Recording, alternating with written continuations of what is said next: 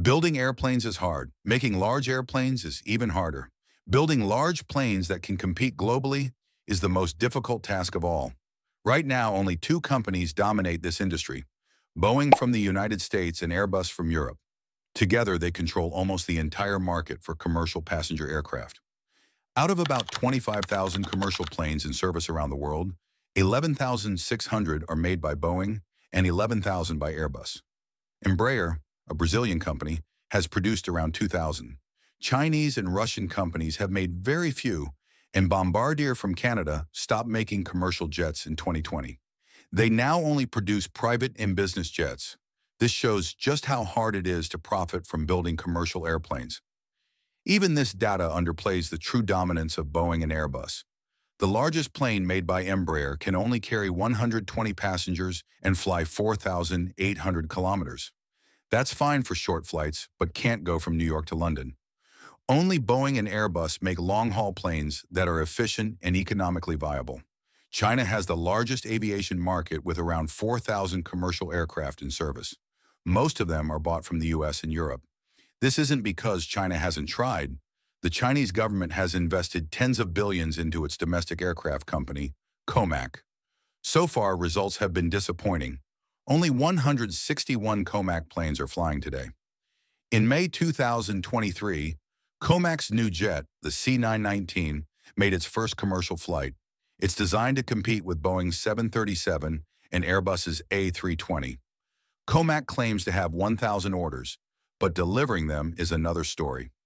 In this video, we'll look at why building commercial jets is so difficult, what COMAC is doing, and whether it has any chance to break the Boeing-Airbus duopoly. China has been building civilian planes for a long time, but with little success. Their first modern passenger plane was the Xian Y-7, a 52-seat turboprop that entered service in 1984. However, it wasn't a Chinese design. It was based on a Ukrainian model from the 1960s. By the time China built it, it was already outdated. Only about 100 were made, mostly for the Chinese Air Force. This showed China wasn't yet ready to build a competitive commercial aircraft. In the 1970s, China restored diplomatic ties with the U.S., which allowed Chinese airlines to start importing Boeing jets like the 707. In the 1980s, they began buying Airbus planes too. Today, not much has changed. Chinese airlines still rely on imports, but technically, China can build planes. Their military has over 3,000 domestically made aircraft. The problem is, military and civilian planes are very different. Military jets don't prioritize cost or fuel efficiency. They often require more maintenance and burn more fuel. For example, the U.S. military's C-17 costs $19,000 an hour to fly, while a Boeing 737 costs around $8,500 per hour. Civilian planes must be fuel efficient, safe, and easy to maintain. Boeing and Airbus have decades of experience making this work. A new company would need years of research just to match today's standards. And by then, Boeing and Airbus will have made even better planes. If your plane is less fuel efficient, no airline will buy it. That's why government support is critical. In 2008, China created COMAC, a state-owned company focused on commercial jets.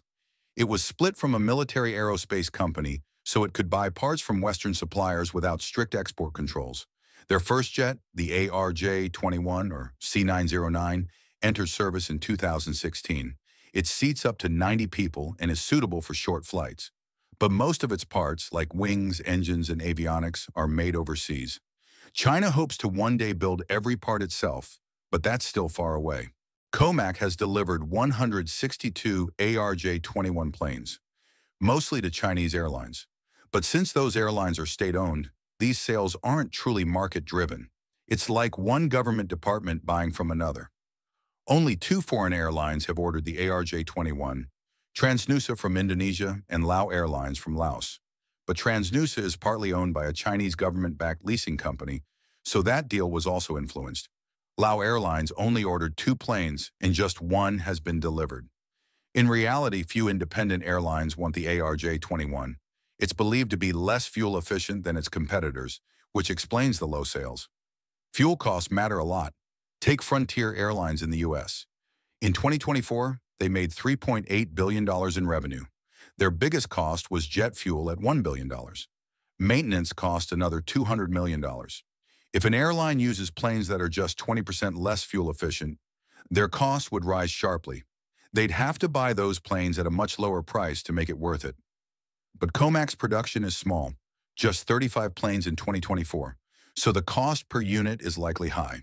The ARJ-21 may not be a commercial success, but it gave COMAC the experience to build a better plane, the C919. This larger jet can carry up to 192 passengers.